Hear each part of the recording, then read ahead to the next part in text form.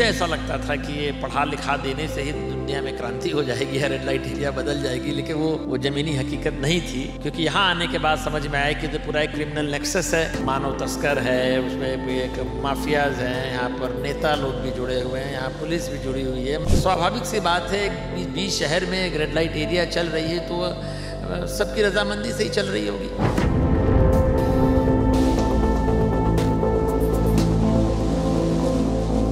सड़क जो पूरी इस एंड से उस एंड तक जाती है। मैं समझता हूँ कम से कम एक समय में दो से तीन सौ नाबालिग बच्चियाँ खड़ी रहती थी दोनों तरफ़ आज भी इन औरतों का कमाकर अपने तक पैसा रख लेना एक बड़ी असंभव सी बात है। Child prostitution free red light area हम लोगों ने क्रिएट किया। तो एक एक वर्किंग मॉडल हमने दिया। ये हमारे लिए बड़ी शर्म की बात है मैं कहूँ। कि इतनी तरक्की के बाद भी मेरे मेरे देश का नाम अगर आता है तो highest number of people living in slavery in India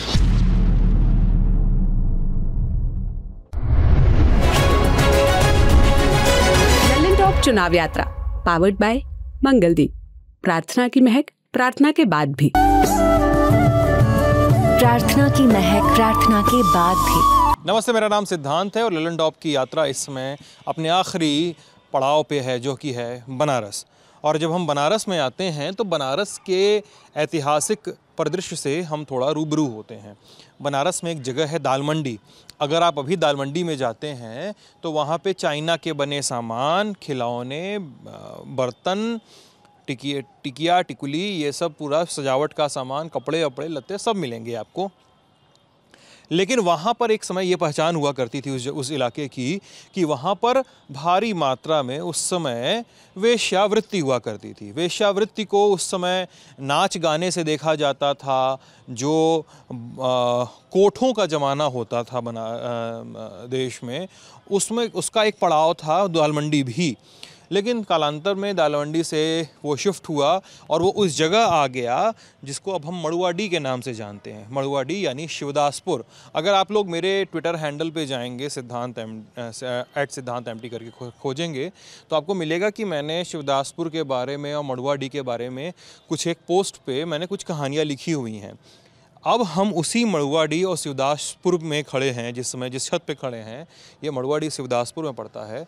और हम जिनसे रूबरू होंगे, वो अजीत सिंह हैं, गुड़िया नामक संस्था के संस्थापक और उसको चलाने वाले नियामक, जिन, जिन्होंने इस रेड लाइट एरिया में, बनारस के रेड लाइट एरिया में, बनारस के सेक्स वर्कर्स के बीच में लंबे समय तक काम किया है।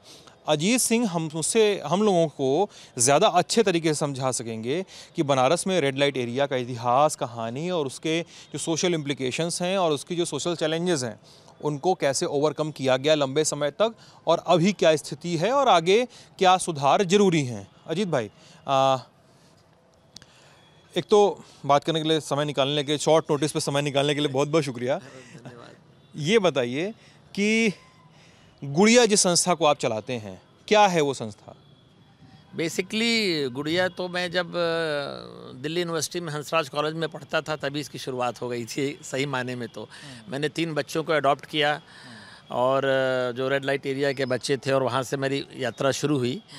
आ, लेकिन वो तो कुछ सालों बाद वो फेल हो गई वो पूरा जो जो पूरा जो मेरा जो एक्सपेरिमेंट था वो फेल हुआ। तो फिर मैं फिर इसी रेड लाइट एरिया में आकर मैंने सोचा कि उसी ऊर्जा में इतना सामाजिक बहिष्कार देखने के बाद मुझे लगा कि वो, वो, वो उससे कम ऊर्जा में मैं समझता हूँ रेड लाइट एरिया में आकर काम हो सकता है। तो आ, मैं रेड लाइट एरिया में आया और यहाँ पर बच्चों को पढ़ाने लिखाने का काम शुरू किया और मुझे ऐसा लगता था कि ये पढ़ा लिखा देने से ही दुनिया में क्रांति हो जाएगी या रेड लाइट एरिया बदल जाएगी, लेकिन वो वो ज़मीनी हकीकत नहीं थी, क्योंकि यहाँ आने के बाद समझ में आया कि जो पूरा एक क्रिमिनल नेक्सस है।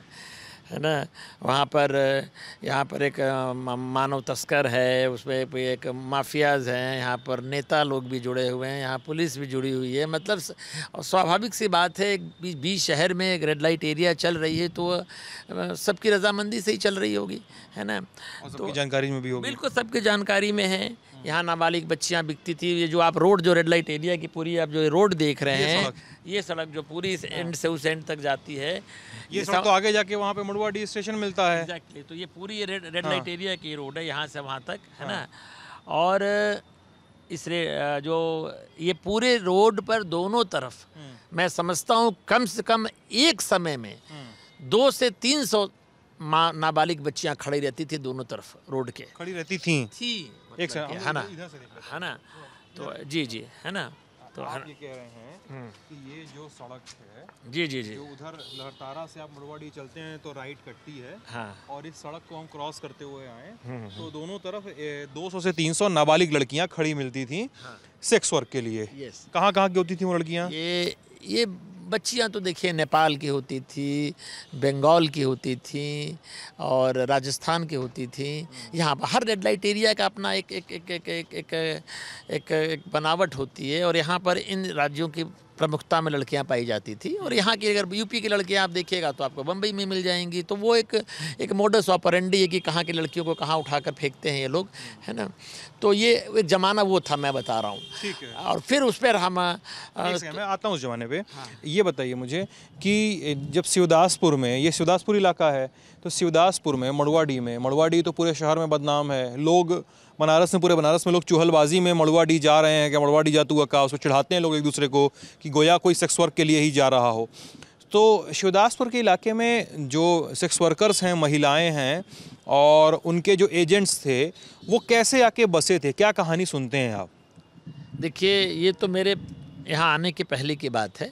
लेकिन मैं जानता हूँ कि ये सारी जो शुरुआत हुई थी वो दाल मंडी के टूटने के बाद तथाकथित जो ये नैतिक लोग हैं उस जगह की सफ़ाई कर रहे थे है ना? और ये उसमें तो वहाँ से उनको भगाया गया ठीक है। साल पहले साठ सत्तर साल पहले की बात है हाँ ये मेरे समझ से सिक्सटीज़ और सेवेंटीज़ की बात है। है ना? है ना है ना?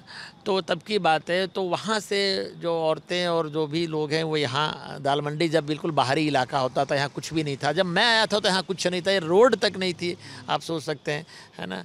तो आ, वो सारी के सारे लोग यहाँ आए और और जो बचा खुचा रूप मैंने दाल मंडी का तो मैंने एटीज़ में भी देखा है। जब तो मैं नाच गाना नाच गाना होता था। हाँ जी हाँ मैं मैं ऐसे दसियों परिवार को जानता था जो छु मतलब कि छुपे रूम से क्या वो वो कोठे का संचालन होता था। मतलब टेम्पररी छोटा सा गु- गुपचुप कोठा। बचा खुचा वो तो एकदम अभी वो भी खत्म हो गया। तो क्या होता था उन कोठों में वहाँ पे? वहाँ नाच गाना होता था और फिर आ, मतलब गवैये तबलची संगतकार ये सब होते थे कि टेप पे होता था? हाँ हाँ नहीं नहीं नहीं बिल्कुल बजाने साजिंदों के साथ होता था। हारमोनियम तबला और उसके साथ होता था ठीक है ना? मैं इस दाल मंडी की बात कर रहा हूँ कि जब मैं आया था तो कुछ बचा हुआ वहाँ बचा था। वो एक दिन में तो ट्रांसफॉर्म होता नहीं है वो एक प्रक्रिया होती है। है। तो वहाँ थे और वहाँ से मैं अपने फेस्टिवल में मैं क्योंकि मैं तवाइफ़ों का एक फेस्टिवल भी करता रहा हूँ क्योंकि उनके मुझे संगीत से बहुत लगाव था कि हर आदमी में कुछ, सब कुछ बुरा नहीं होता। तो हम दिल्ली के श्री राम सेंटर में पाँच सात सालों तक हर साल हम लोग करते थे। पूरे देश की तवायफ़ें आती थी और उनके जो कला का हुनर था उसको दिखाती थी। हमारी पूरी कोशिश थी इसको बचाने की। और अभी भी मैं कराता हूँ, लेकिन मुझे लगता है कि मैं उनको बचा नहीं पाया क्योंकि हमें वो कोई आर्थिक मदद मिली नहीं। हमें जो जो हमसे बन पाया वो हमने किया उसको जीवित रखा। बिहार के मुजफ्फरपुर से लगाए गया से लगाए फिर इधर आप उज्जैन से लगाए है ना? तो बेलगांव कर्नाटका से हर जगह से तवाइफ़ें आती थी।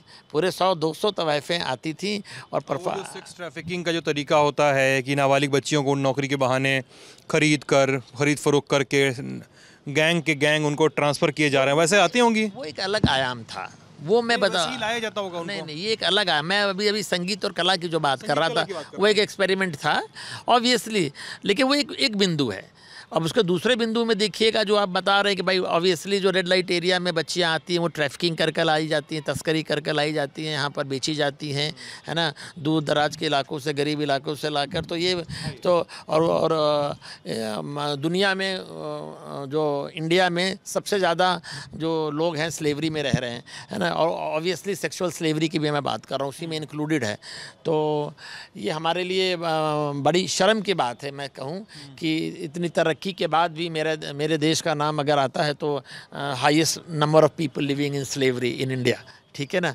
तो ये, और ये मैं समझता हूँ ये, वो, ये अपने आप में सिर्फ़ पुलिसिंग वाला मामला नहीं है। ये पूरी जो सामाजिक आर्थिक व्यवस्था है, जो गरीबी है, जो बेरोजगारी है, उससे जुड़ा हुआ मामला है, मसला है, ठीक है ना? अगर ये है तो लोग मजबूर हैं वेश्यावृत्ति में भी जाने के लिए जीविकोपार्जन के लिए। ठीक है? तो खैर सॉरी तो आप आप मैं आ रहा था शिवदासपुर पे थोड़ा आ रहा था। मैं भी वहीं लौट हाँ। तो फिर तो बेसिकली जैसे कि मैं बता रहा था आपसे तो हमें फिर समझ में आया कि पूरा एक क्रिमिनल नेक्सस है। और उस क्रिमिनल नेक्सस से हम लोगों को लड़ना पड़ेगा। तब यहाँ पर बच्चों को पढ़ाते हुए हम लोगों ने यहाँ पर जो मानव तस्कर थे, उनसे लड़ाई, लड़ी हम लोगों ने और यहाँ यहाँ पर रेस्क्यू ऑपरेशंस भी किए लीगल लीगल इंटरवेंशन भी किया हम लोगों ने, कोठे को सीज कराया हम लोगों ने, कोठे मालिकों को सज़ा कराई है यहाँ पर। तो एक पूरी एक लंबी प्रक्रिया चली है पूरे, है ना? और ये पूरा जो इलाके में आप अगर आप पूरे इलाके में अगर आप घूम कर देखिए तो आपको नाबालिग बच्चियाँ नहीं मिलेंगी। ये अपने आप में अचीवमेंट है। और इसमें शासन प्रशासन का भी अब सहयोग हो गया है। वो लोग भी इस पर इंटरेस्ट ले रहे हैं। बालिग लोग मिलेंगे क्या? हाँ बालिग तो एक रेड लाइट एरिया तो, तो सुप्रीम कोर्ट का भी कहना है। और जो हम हमेशा कहते हैं कि भाई देखिए हमारा दो दो पहलू का काम है। हम जजमेंटल नहीं है। हम बहुत नैतिकतावान नहीं बनने की कोशिश करते हैं। हमारी पहली कोशिश है कि नाबालिग अगर कोई है तो उसको रेस्क्यू किया जाए उसके लिए हक के लिए लड़ा जाए। और अगर कोई और किसी के साथ अगर ज़बरदस्ती हो रही है तो। और अगर बालिग महिलाएँ हैं वो अपने मर्ज़ी से अच्छा से हैं। करना चाहती हैं आगे यहाँ रहना चाहती हैं तो मैं समझता हूँ उनको प्रोटेक्शन देने की ज़रूरत है। उनको जो पूरे एंटाइटलमेंट्स है सरकार के वो भी मिलने चाहिए वो हक हकूक मिलना चाहिए। और मैं समझता हूँ सुप्रीम कोर्ट का भी अब जो जो लेटेस्ट जर्मन जो जजमेंट था करमास्कर वाले केस में वो यही है। और अभी हम लोग ने महिला आयोग के साथ मिलकर इसी रेड लाइट एरिया में दो दो तीन तीन बार कैंप लगाया है हम लोगों ने ऑफिशियली कि ताकि हर औरतों को हर जो जो हक है और जो एंटाइटलमेंट्स हैं चाहे वो राशन कार्ड हो चाहे वोटर कार्ड हो सबको सब कुछ मिल सके।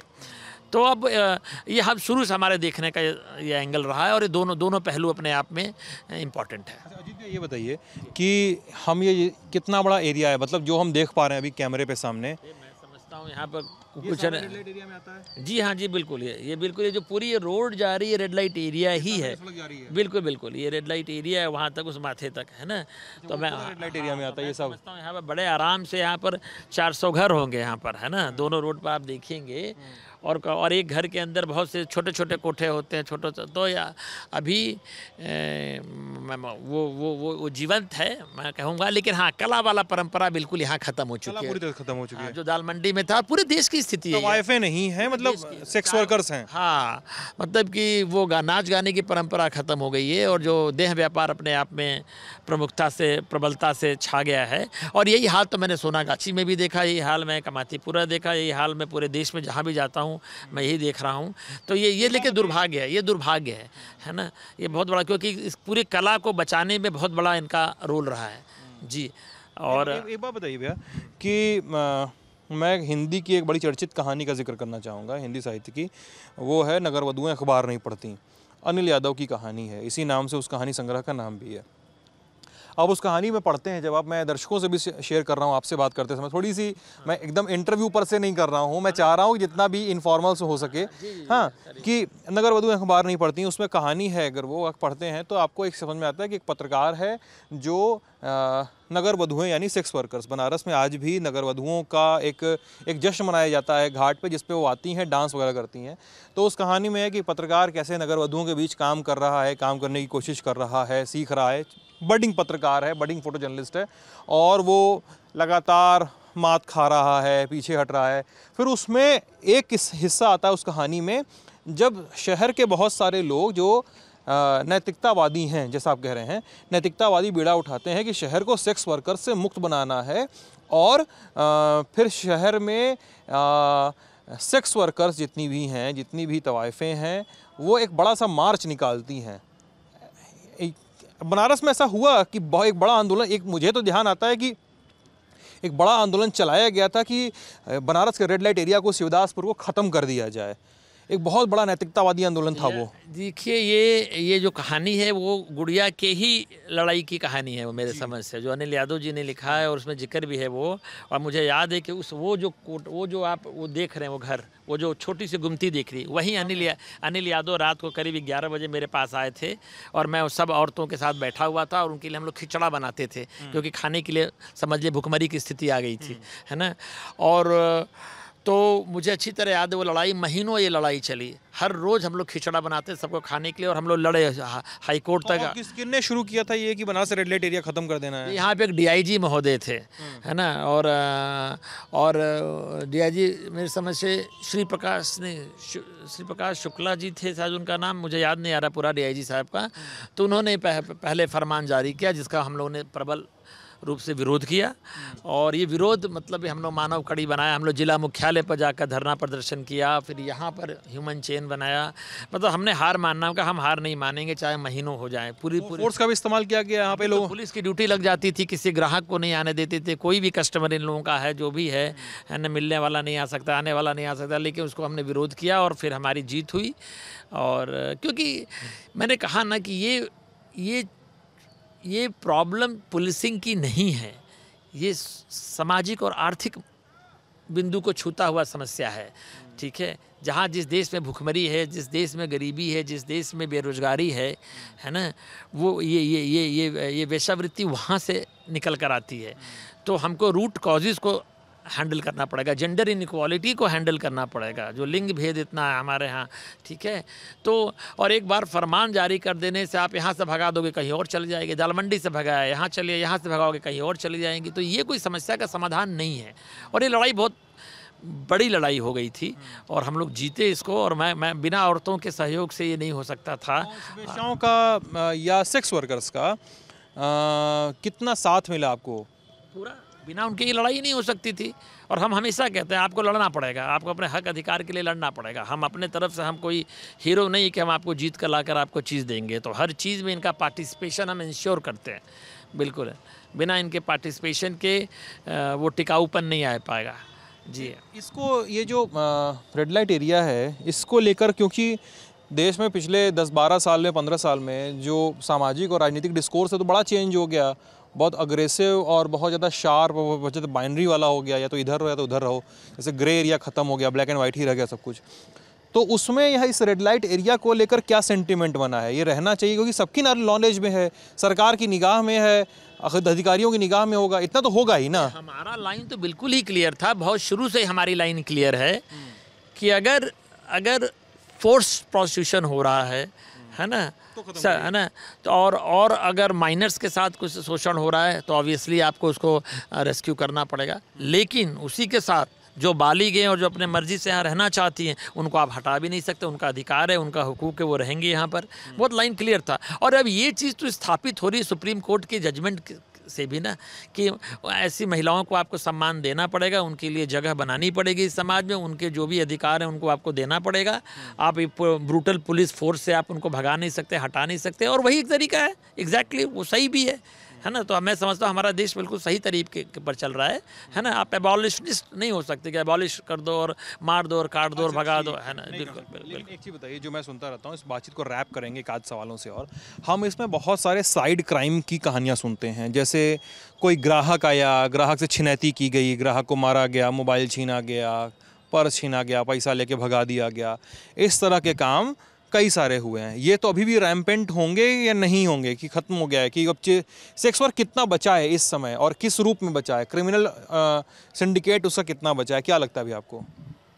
देखिए जहाँ तक सेक्स ट्रैफिकिंग और जो कमर्शियल सेक्सुअल एक्सप्लॉयटेशन है है ना ये जो ये जो ये इसका सवाल है तो ये आज भी चल रहा है तीन चार बैसाखियों पर।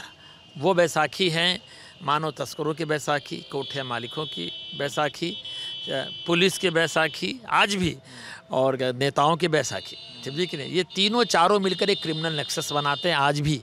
क्योंकि आज भी इन औरतों का कमाकर अपने तक पैसा रख लेना एक बड़ी असंभव सी बात है। दूसरा पहलू मैं बता रहा हूँ। आज भी इनकी कमाई पर हक और हुकूक दलालों का होता है जो कोठे मालिक है उनका हो जाता है। को हाँ हाँ है ना? या और जो लोग जो, बाहरी लोग भी हैं जो इसके ऊपर अपने अपना कंट्रोल दिखाने की कोशिश करते हैं वो, वो, वो, वो उन लोगों का हो जाता है। तो वो आप मान कर चलिए कि एक बारी में बिल्कुल क्लैरिटी है कि जहाँ एक्सप्लॉइटेशन है वहाँ हमको रेस्क्यू करना पड़ेगा और जो अपनी मर्ज़ी से करना चाहता है उसको सपोर्ट करना पड़ेगा। तो जब जब बालिग हैं जिनको अपने मर्ज़ी से जो चल रही हैं उनको सपोर्ट करना है तो सबसे बड़ा सपोर्ट तो उनको यही चाहिए कि जैसे सुप्रीम कोर्ट ने कहा कि उनको पूरे हक हकूक मिले उनके एंटाइटलमेंट्स मिले लेकिन साथ में ही जो पैरासाइट्स हैं जो उनकी कमाई को नोच ले जाते हैं उस पर भी कंट्रोल करने की ज़रूरत है। यानी कि एक तरफ़ इनको सिक्योरिटी देने की ज़रूरत है तो दूसरी तरफ़ जो जो जो जो बच्चों को बेचने वाले हैं, जो दलाल हैं, जो मानव तस्कर हैं, उनके खिलाफ कड़ी कार्रवाई होनी चाहिए और यही हमारा आईटीपी एक्ट कहता है है ना? लेकिन जनरली जो उसका इम्प्लीमेंटेशन है, वो बहुत ढीला है। है ना? वो कहीं ना कहीं औरतों के खिलाफ ही चला जाता है। वो मानव तस्करों के खिलाफ ज़्यादा नहीं जा पाता है क्योंकि शायद मुझे लगता है कि एक मेल पुलिस है जेंडर बायस यहाँ पर भी है इम्प्लीमेंटेशन में। जेंडर बायस भी है और मैं उसी पे आ ही रहा था। जैसे आप हैं। जिस जिस जहाँ खड़े हैं ये वो स्कूल है जो आप चलाते हैं जो आप संचालित करते हैं आपकी संस्था संचालित करती है। मोस्टली यहाँ पे सेक्स वर्कर्स के बच्चे पढ़ते हैं। सभी वही सिर्फ़ वही पढ़ते हैं। यहाँ दूसरा कोई आएगा ही नहीं। हाँ वही पढ़ते हैं सेक्स वर्कर्स के बच्चे पढ़ते हैं। मैं मेरे दिमाग में एक छोटा सा एक एक क्वेरी है। जो मेरी क्वेरी भी मैं बनारस का हूँ तो इसलिए मेरी क्वेरी कम मान के चलिए, लेकिन दर्शकों की क्वेरी ज़्यादा मान के चलिएगा उसको, ठीक है? मैंने देखा अभी आपके स्कूल में मैं इंटर कर रहा था तो नीचे एक बड़ा सा हॉल है, वहाँ पे किताबें रखी हुई हैं, उसके ऊपर आए, आइए तो क्ले लैब है, सिलाई मशीनें और बुटीक का बुटीक का और वो जो होता है, ब्यूटिशियन का कोर्स कराने वाली की ट्रेनिंग की ज़रूरी ज़रूरी साजो सामान है, एक थिएटर बना हुआ है, बच्चों ने कुछ कुछ बना के रखा हुआ है, उनके क्लासरूम्स हैं, वॉल पेंटिंग्स वगैरह हैं, तमाम व्यवस्थाएँ हैं। ऐसे बच्चे, जब सेक्स वर्कर्स के बच्चे, पढ़ाई करने आते होंगे तो एक तो बड़ी समस्या होती होगी, क्योंकि हम तो मानते हैं, अभी भी जानते हैं, और ये सच भी है कि हमारा समाज बहुत रिग्रेसिव है। अभी भी लोगों से भेदभाव किया जाता है। तो सेक्स वर्कर्स के बच्चे के साथ और भी ज़्यादा भेदभाव होता होगा, जब किसी ओपन स्कूल में या जनरल स्कूल में जाते होंगे तो ज़ाहिर सी बातें होता होगा उनके साथ भेदभाव। क्या लगता है आपको? होता होगा कि नहीं होता होगा? देखिए, रचना और संघर्ष दोनों साथ साथ चल पैरेलल चलते हैं। ठीक है तो संघर्षों की तो बात बहुत हुई कि रेस्क्यू किया और रेड लाइट एरिया से कैसे सजा दिलाई, कैसे कोठे सीज किए। लेकिन जहाँ तक रचना का सवाल है, बच्चों के शिक्षा के ऊपर हम बहुत फोकस करते हैं, क्योंकि वो अपने आप में केंद्रीय बिंदु है। और इस क्रम में आप अगर देखेंगे तो हम लोग, हमारे बच्चे हायर क्लासेस में भी गए हैं कुछ नौकरियाँ भी बाहर करने लग गए हैं। तो सॉरी आपको सवाल मैं थोड़ा मिस कर गया। शिक्षा वर्कर्स के बच्चों के साथ जो भेदभाव अच्छा होता। ठीक ओके है ना? तो वो शिक्षा का लेकिन ये कहना कि उन बच्चों के साथ भेदभाव नहीं होता है। देखिए आप आप रेड लाइट एरिया के बच्चों की बात कर रहे हो। मेरे हमारे समाज में जाति व्यवस्था इस कदर हावी है आज भी। हम कितना भी प्रोग्रेसिव क्यों ना बने। जब आप एक छोटी जाति के होते हो आपको महसूस करा दिया जाता है कि आप इस जाति के हो। आप पिछड़े हो, आप दलित हो, आप माइनॉरिटी के हो, है ना? तो वो निज जीवन में वो आपको देखने को मिलता है। तो बताइए रेड लाइट एरिया के बच्चे को ये महसूस नहीं होता होगा? तो वो तो आज भी महसूस होता है लेकिन हाँ अब इन इस वजह से ऐसा नहीं होता है कि वो स्कूल नहीं जाते। हमने जाकर स्कूलों में प्रिंसिपलों से बात किया उनको कन्विंस किया इससे वो कोई प्रॉब्लम नहीं है। लेकिन जो समाज की जो आबो हवा होती है वो वो आपको हमेशा छू छू कर गुजर जाती है है ना? और वो आपको कैरी करना पड़ता है पूरे जीवन अपने साथ। वो टैग आपको लेकर घूमना पड़ता है। शायद एक आध दो जनरेशन बाद ये ख़त्म होगा है ना? तो मैं इसीलिए ये भी रेसिज्म है और जो जाति व्यवस्था है वो भी रेसिज्म है। ठीक है ना? हाँ, सब किसी न किसी रेस के खिलाफ जातियाँ हो रही हैं। बिल्कुल और मतलब जो आप कह रहे थे पुलिसिंग वाली मेल पुलिसिंग की जेंडर बायस मतलब सेक्स वर्कर के साथ भी यही समस्या होती होगी। पीछे थोड़ा सा सामान है ध्यान देना सद सेक्स वर्कर के साथ यही समस्या होती होगी जब पुलिस के पास जाती होंगी शिकायत करवाने तो पुलिस उनके साथ जातियाँ करती होगी क्योंकि पुलिस का भी रवैया थोड़ा सा टेढ़ा तो है। ठीक आई एस आई एस अधिकारियों को या पी पी एस अधिकारियों को भी छोड़ दीजिए लेकिन जो थाने के लेवल पे चौकी के लेवल के पुलिस वाले हैं उनके रवैये बड़े ख़राब होते होंगे। देखिए अब तो एक एक ज़माना हो गया अब एक ज़माना हो गया इसको इस, इस लड़ाई को लड़े अब अब जो लोकल पुलिस स्टेशन है सब लोग गुड़िया को जानते हैं क्या काम करते हैं कैसे करते हैं पूरा देश जानता है मैं समझता हूँ पूरी दुनिया अब जानने लगी है हमारे अप्रोच को और हमने रिज़ल्ट दिया है। हमने हमने रिज़ल्ट दिया। जैसे अब इलाहाबाद का रेड लाइट एरिया हम लोगों ने देखे इंडिया में सबसे बड़ा रेस्क्यू ऑपरेशन था। एक, एक ऑलमोस्ट पूरा नेशनल और वर्ल्ड रिकॉर्ड बना दिया। इकतालीस लोगों को एक ही केस में सज़ा मिली है अभी है ना? Child prostitution free red light area हम लोगों ने क्रिएट किया। तो एक एक वर्किंग मॉडल हमने दिया है। तो अब वो वो वो दौर वो संघर्ष तो नहीं रह गया जहाँ वो नहीं जानते हैं लेकिन जानने के बाद भी बेशर्मी करते हैं ये तो ज़रूर है। लेकिन ताकि कि उनकी नज़र नज़र है। नजरअंदाजी और हाँ ना तो वो वो वो वो चलता ही है ठीक है ना? तो वो रगड़ा रगड़ी वो वो लड़ाई और संघर्ष तो मैं समझता हूँ पूरे जीवन चलने वाला है है ना? लेकिन मैं मेरा मेरा कहना ये है कि मैं पूरे देश में लगभग मतलब शुरू करने वालों में हूँ इस मुद्दे की लड़ाई। हम पाइनियर हैं। तो- ये तो कई पत्रकार बताते हैं। हाँ, क्या पूरे देश के लिए सिर्फ़ बनारस की बात नहीं कर रहा और इस देश में इस मुद्दे पर अब बात हो रही है। सेक्स ट्रैफिकिंग और फोर्स प्रोस्टिट्यूशन की बात हो रही है। इस इसलिए मैं कहता हूँ कि ये ये ये इन महिलाओं की लड़ाई बड़ी महत्वपूर्ण है। और ये पूरे दुनिया के पटल तक गई है।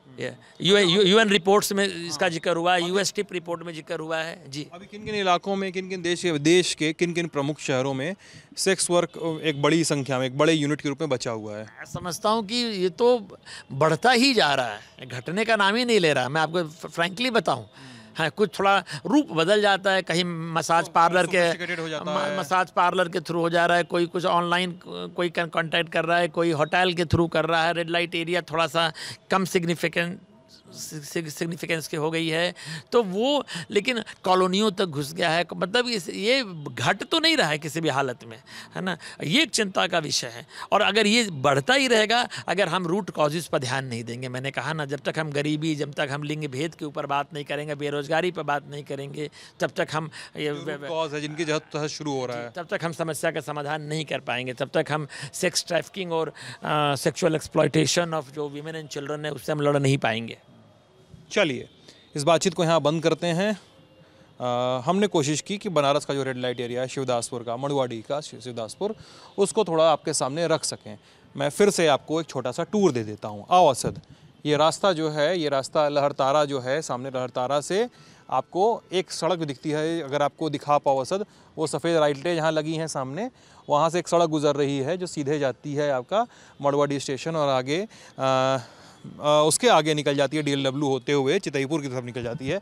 तो उधर से एक रास्ता कटता है, जो इधर आता है आपका, इस एरिया में आता है जो है बनारस का रेड लाइट एरिया, शिवदासपुर का एरिया। और इधर आ जाओ असद, मैं फिर से दिखाई देता हूँ। वो रास्ता जो है, वो नीचे से होता हुआ इधर से निकलता है, सामने से निकल जाता है असद, और आगे निकलता है।